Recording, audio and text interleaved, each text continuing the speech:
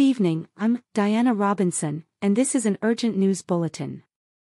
Our planet is experiencing an unprecedented event, an alien invasi. At approximately 3 a.m. Greenwich Mean Time, unidentified spacecraft entered Earth's atmosphere.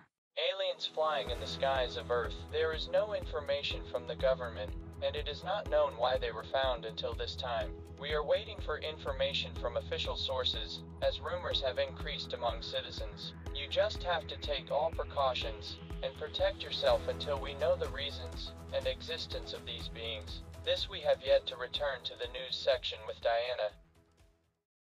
These massive ships, of unknown origin, have taken positions above major cities across the globe. Governments worldwide have declared a state of emergency. The invaders, dubbed the Celestials, have deployed ground units, causing widespread panic. These extraterrestrial beings are unlike anything we've seen, equipped with advanced technology and impenetrable shields. The Celestials have disrupted all communication networks, causing chaos and confusion people are advised to seek immediate shelter and avoid any contact with the invader. In a surprising turn of events, a group of scientists and linguists has established a rudimentary communication with the invaders. The message is clear, Earth must surrender or face consequence.